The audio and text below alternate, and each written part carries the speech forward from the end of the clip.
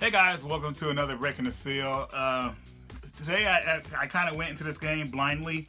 Uh, as of the release of this video, this game is going for 10 bucks on Amazon. Uh, and you know, for the DS system, I always wanted to look for a, a, a, like a 2D fighting game that was really good, or, or that I thought was good, or whatever. So uh, I found out about this game, Windy X Windam. Sorry about the brightness there. You can see that there. of course, I have it up right here as well.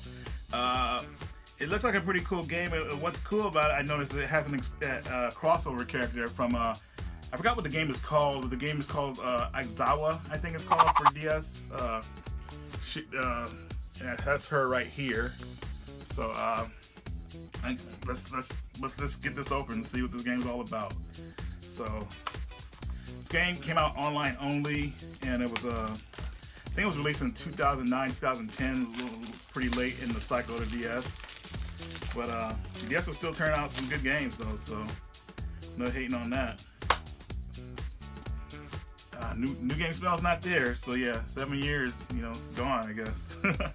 but it does come with instruction manual. That is always a refresher to me. I love that. Uh, still got the freaking slot for the Game Boy Advance games and everything. So uh, let's take a look at this manual. See if it's. Let's see what. Oh yeah, see this manual is nice too. Full color manual you know, today you don't get a manual or you get a black and white or something like that. This is pretty cool. So, yeah. But anyways, uh, down in the comment in the description below, I'll have my opinion of the game if it was worth it or not, because of course I haven't played it yet. But uh, it's looking pretty good, and uh, you know, as long as it got some good 2D sprites and nothing that's like dull or anything like that, they put some effort into it. I think I'll like it. Hopefully, it plays smooth. Uh, maybe it has an online feature. Is there? Well, not like it's not like the, the DS is online anymore, anyways. Yeah, it's um, wireless card download play, so you can play with another person who doesn't have the game. That's kind of cool. And then of course you can play with two people who have the card.